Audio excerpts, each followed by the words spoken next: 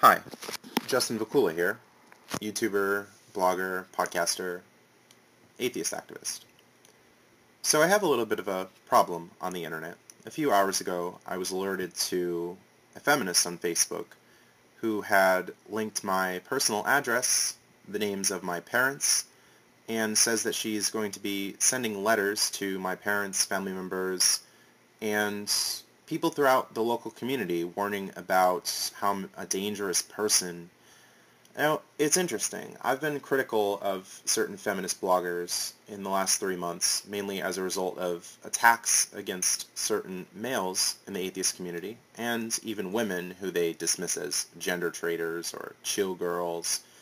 And I'm really sick of a lot of the infighting that has been going on. It's really depressing that the community is being torn in half as people are trying to hijack atheism under the banner of feminism and go about demonizing men.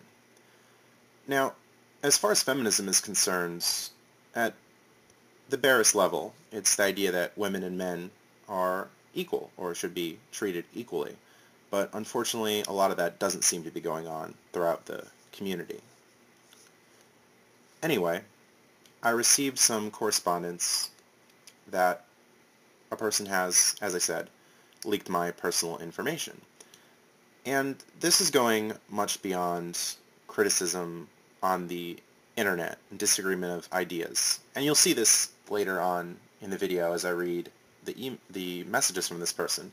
It isn't only putting my address online for people to have, but she's telling people to send messages to me. She's threatening to send letters to my parents, family members, and institutions across Pennsylvania to ruin my career. She explicitly states this.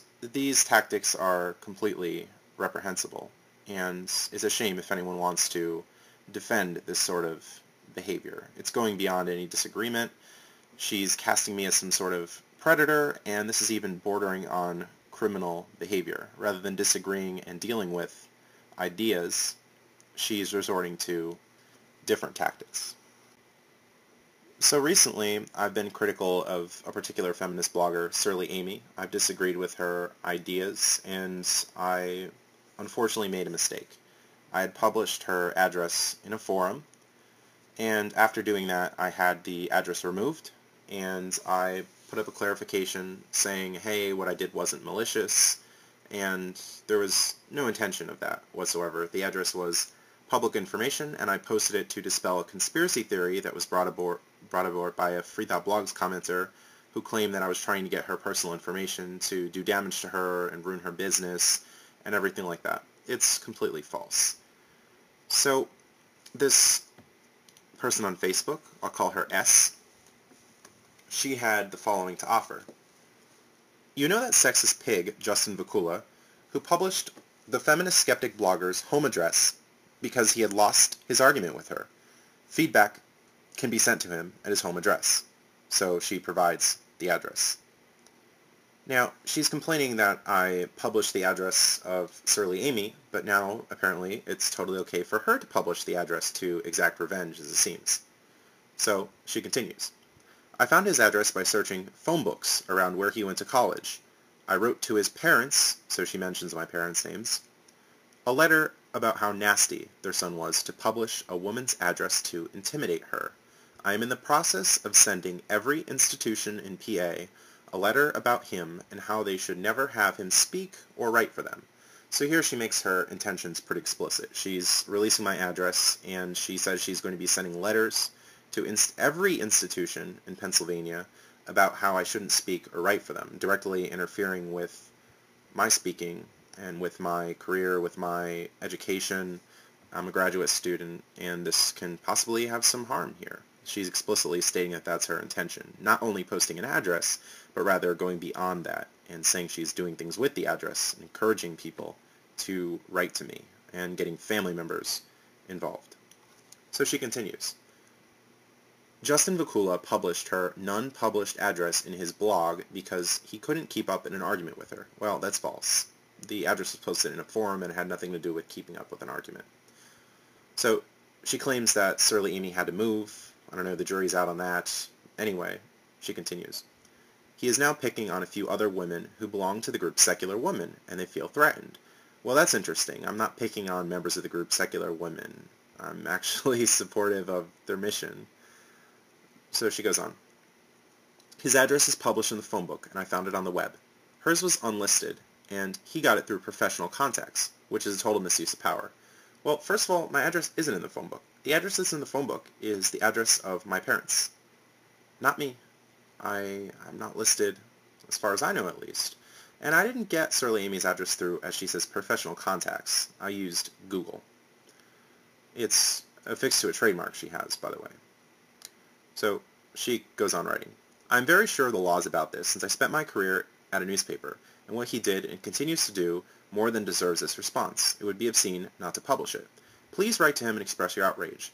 The letter I wrote to his parents was very nice, but his family also has the right to know what awful jeopardy he could have put him in by doing this. He insinuated his local readers should visit a woman who dared call him on his sexism. I am outright asking international readers to drop him a line. Anyone in his city area only need look in the white pages. So here she misrepresents. I'm in Pennsylvania. Surly Amy is on the other coast, the west coast. My local readers are on the east coast. So what, what is this about going to visit her? How, how are my local readers going in Pennsylvania going to visit the other coast? Uh, I never I never posted anything. I never encouraged people to visit Surly Amy. It's just total nonsense. She she's casting me as this, this predator, this bad person who wants to do harm to people, and I'm encouraging people to do harm while she's doing that herself. And I never said that anyone should do harm to people. I have my agreements online. I don't take them. Uh, I don't take them into real life. It just doesn't happen. I, I made a mistake with the address. I, I clarified that, and I'm noting it again in this video that that's what it was. It's not just because mine was published. Uh, I, I made this clarification days before this, weeks before this, actually. So don't be cynical here. So she goes on. I've talked to newspapers in Pennsylvania. There will be articles about him regarding this in relation to his speaking tour there at area churches and parochial schools. He can't be trusted with professional contacts, so I'm afraid he might just find himself wanting a profession. I'm just the one who gave you the scoop. So here she's admitting that she wants to interfere with my career, with my speaking, with what I'm doing. I, I can't be trusted with professional contacts, she says. And she says, I'm afraid he might just find himself wanting a profession. So she she's very much interfering with my career here. That's that's what she's stating. It's it's pretty obvious.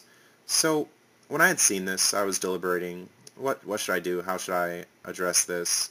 So what I thought of doing was doing another Facebook profile, a, dupe account. So I made a dupe account and I put my name up as J Alucav and used my profile picture. And I'm not trying to hide my identity at all. I wanted to have a conversation with this person. So I subscribed to her and looked at her timeline to see what she was saying, get screenshots of this, and she sent me a message. She says, you can't think of a better way to scramble your name? Or try using a new picture? I have prosopagnosia and can still recognize it. I just published your second identity and have reported it to Facebook as well. Watch your local newspapers. I worked at one of the largest newspapers for over 16 years. I know everyone. There will be lots of you can't trust this guy with confidential professional contacts news articles coming out. So, you might soon be wanting a profession. I've also sent letters to every school and church in your area telling them you cannot be trusted to keep any private information about their female staff and students. So apparently I'm dangerous to women. She, she's painting this narrative. Uh, I don't know where she's really getting this from. It's it's absolutely ridiculous. She's trying to get into my personal life, to interfere with my personal life. It's very explicit here, and much more than just posting an address. She continues, I also wrote, to, she mentions my parents' name, because your family has the right to know what jeopardy such behavior could have put them in, if I was a crazy motherfucker or has as little scruples as you do. So that's interesting. Again, she's involving my family into this issue. Whatever that has to do with it, I have no idea. So she has a disagreement with me online and she takes it into real life. She posts my address. She encourages people to send me letters. She claims to be writing these letters to my family members, my parents, and institutions across Pennsylvania directly interfering with my life. What is that all about?